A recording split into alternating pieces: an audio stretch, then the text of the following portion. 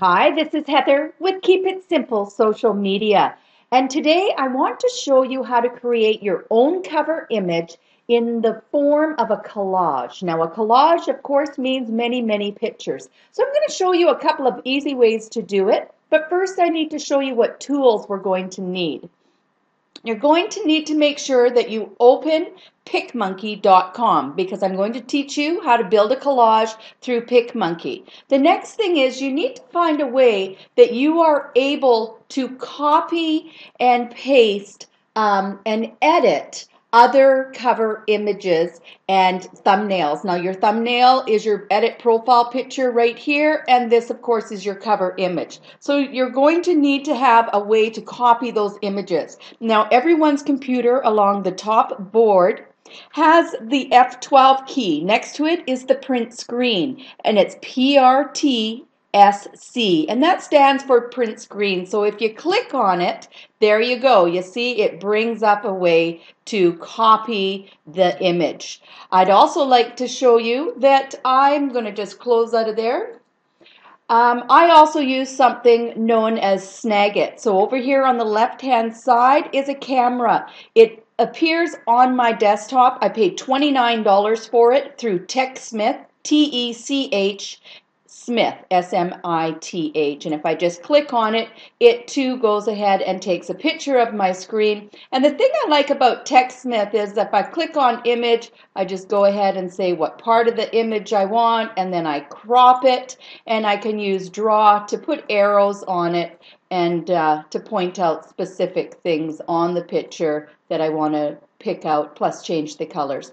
So we're not really learning about photo editing um, sites today, but I also want to tell the people that have Windows 8, your Windows 8 comes with a brand new feature and it's called the snipping tool. So if you just go to the right hand side of your computer and you pull out your search and just write in there snipping and look what happens. It pops up and you can ask to put this on your desktop. So whenever you want to capture a picture, you go ahead and click on it. As you can see, it's down here on my desktop. And then it is going to ask you what you want to do. You want to take a new picture.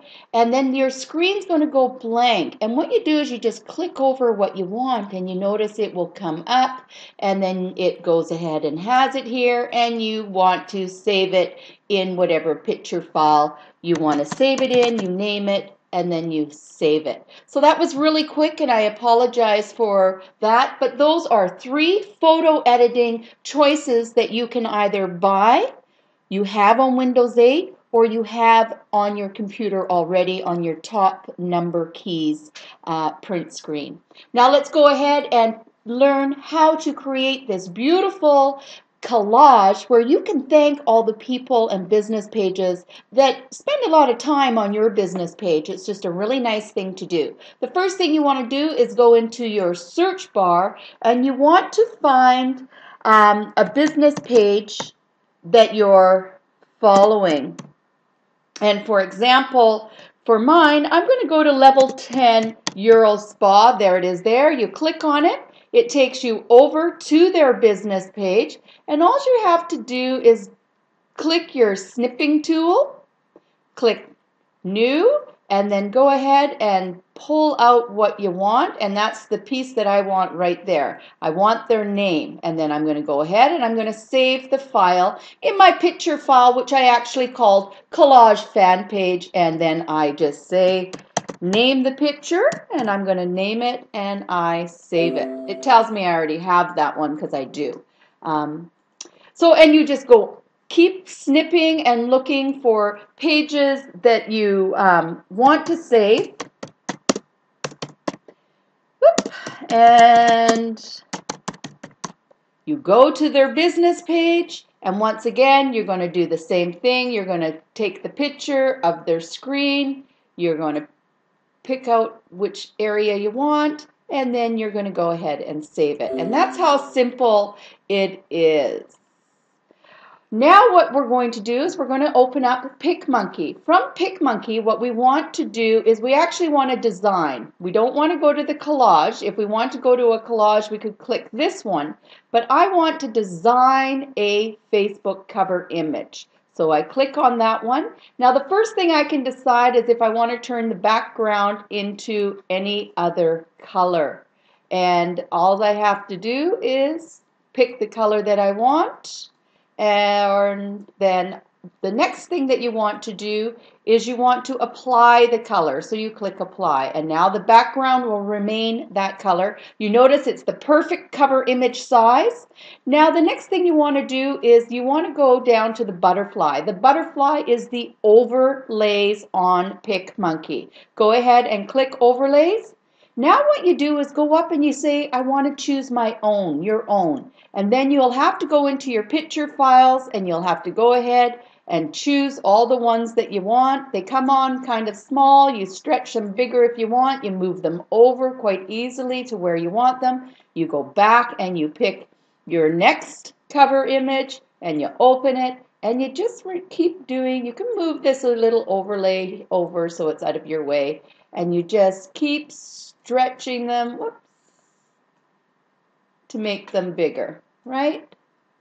Whatever works. And you just repeat the process over and over until you have all of the uh, pictures that you want to use on your screen. And then the next thing you can do with all these pictures once they're on here is you can go ahead and on mine I said thank you. So you'd go to the T for text, TT stands for text. You go ahead and you're going to click add text you move the box that lands on your screen to wherever you want it. You click inside the box and you write what you want to write.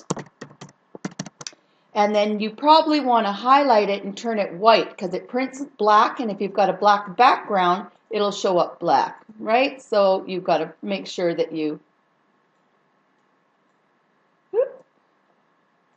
sorry, you got to highlight everything and as you can see, this one I want to show you. It didn't work. There you go. You might want to make the text a little bit bigger. You can do it by going sliding this across or you can go ahead and click here and choose the size that you want. If you don't want it to be underneath each other, just click on the box and stretch it along.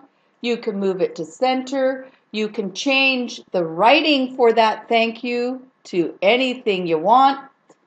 And so using PicMonkey is really user friendly. It takes a little bit of time. I just didn't automatically jump on this and figure it out. The last thing I want to tell you is let's go ahead and brand all the pictures that we do by putting your name in the lower corner. I like to write it usually in about 12 font. I like to use the same font that I use for the writing on the page. So I'd go to chunk five. And so now you just put it very lightly in the bottom. If you think that's a little bit big, you can make it just a little bit smaller. Because we don't want to be in people's face, we just want to brand everything that we do. So this is how you can create a thank you collage image using free photo editing through PicMonkey and of course on your own computer. This is Heather. Let's keep it simple.